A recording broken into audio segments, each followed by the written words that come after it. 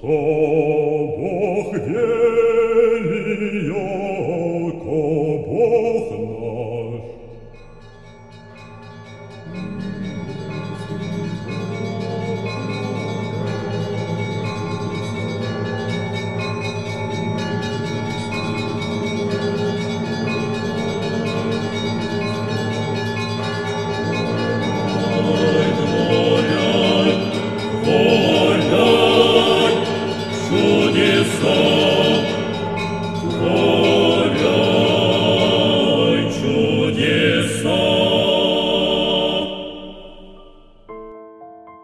Вічна книга життя Святе Євангеліє відкриває нам таємниці відносин людини з Богом. У неділю в церкві на божественній літургії читається євангельська притча про Гадаринського біснуватого. Чому навчають нас ці великі вічні глаголи?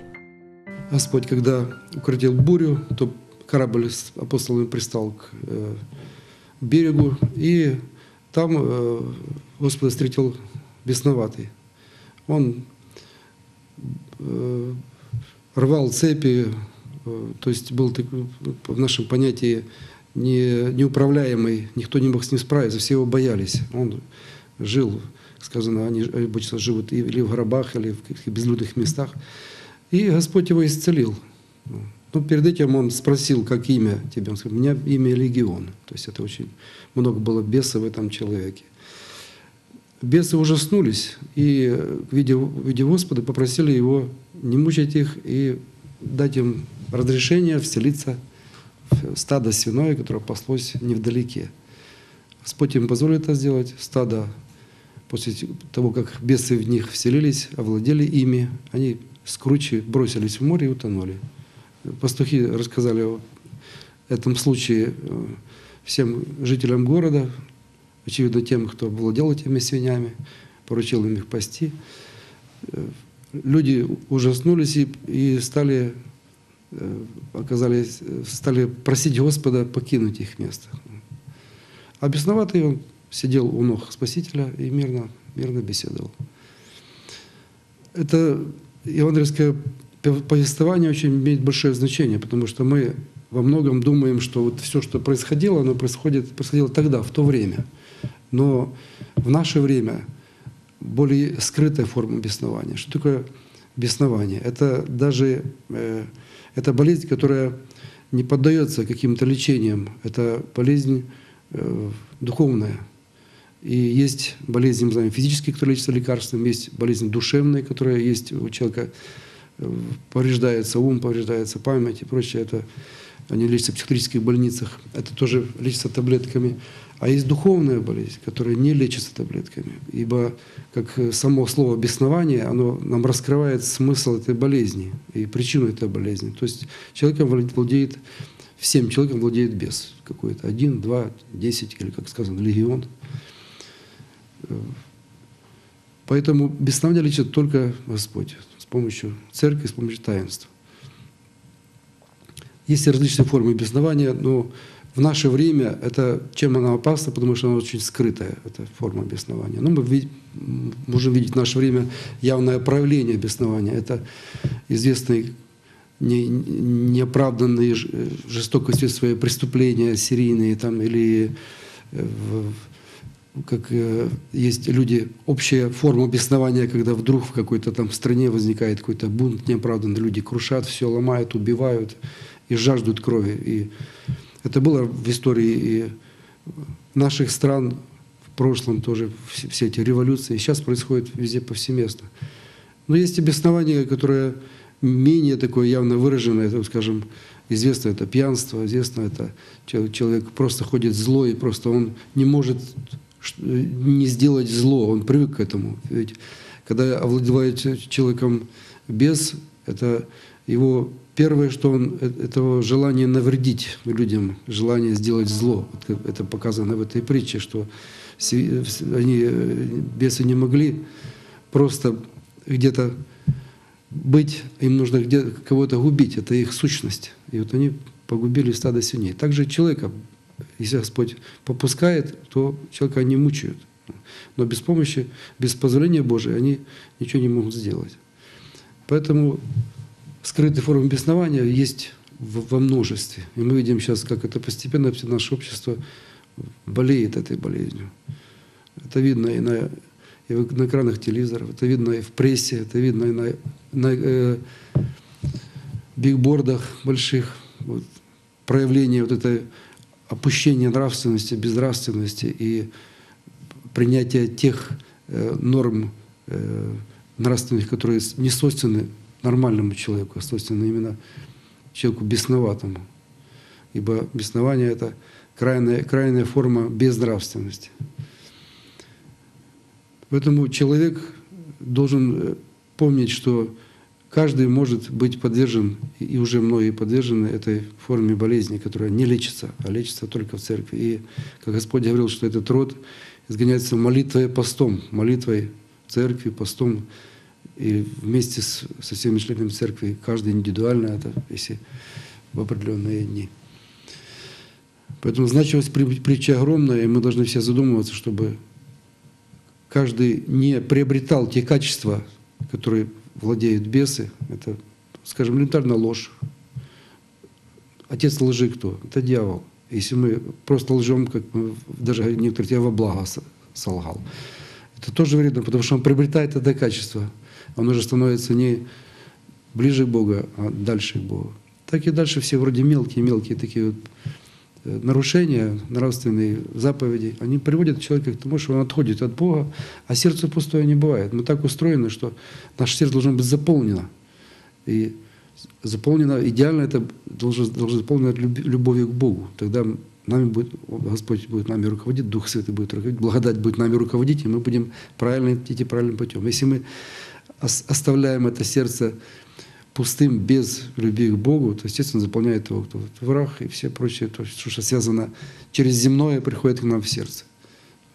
Как, как сказано в Евангелии, что если выйдет без и ходит по безводным пустынным местам, не найдет места, возвращается в свой дом, то есть в сердце человека, которое было праздным, найдет его выметенным, убранным, и придет с собой еще семь бесов, еще страшнее.